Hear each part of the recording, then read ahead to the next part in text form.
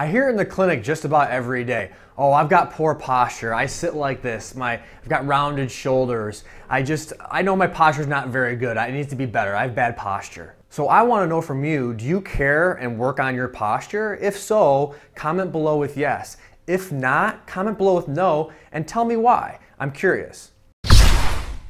Hey, I'm Dr. RJ Burr of Reach Rehab and Chiropractic Performance Center, and I'm here to tell you that there's no such thing as a perfect posture, but posture also does matter. So if you're on one side of the spectrum where you're like, oh, posture, it's all about that, and have to be in upright position at all times, that's not necessarily right. And if you're also on the other side and you say, oh, well, who gives a crap about posture? It doesn't matter whatsoever.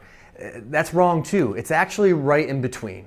You see, the thing is that some people can sit in a position or be in whatever position for a long period of time and never have problems. However, some people that they can't be in certain positions and they're going to have issues. So it just depends. But more and more what I see the underlying theme is not so much that sitting's a problem. Sitting is a normal thing. It's not inherently bad, but if you think about what a lot of us do on a daily basis, we just sit a lot. So it's that accumulated posture is that what becomes the problem, not because sitting is inherently bad bad. We're just there all the time. Now, yes, I do recommend for people that sit to use some sort of simple devices like a lumbar roll to put behind their back to help with an upright position, but that's only if I test them with it and it's helpful for them. But overall, the underlying theme is that there is no perfect posture and your best posture is your next posture. So what does that mean? Just for everyone, we just need to move more often and have a lot of variability in our lives. So here are three tips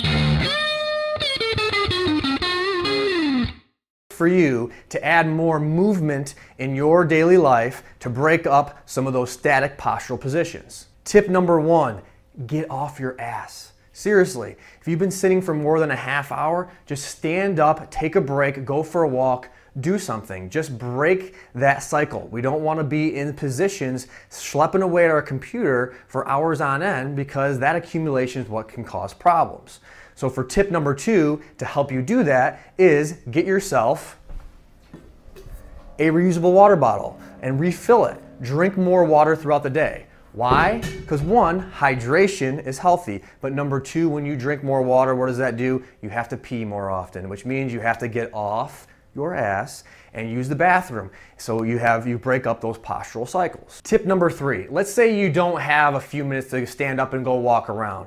Well then what you can do instead is pull out your iTelephone, Android, Blackberry, walkie-talkie, or telegraph. Set an alarm on there for 30 to 45 minutes. Or if you have a Fitbit or some other device, set a timer on there to remind you to simply stand up and take a micro break. So what's a micro break? You stand up and get out of the posture that you've been into. Open up in the opposite direction. Open up those shoulders and hands. Look back toward the ceiling. Take a deep breath. Breathe out, bend back a little bit more. Simply sit back down. Reset your phone.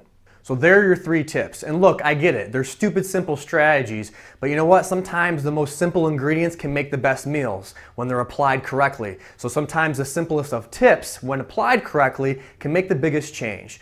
So give these strategies a whirl, try them out, and see if your day to day becomes more comfortable as a result of doing these. And please, let me know how it works out for you.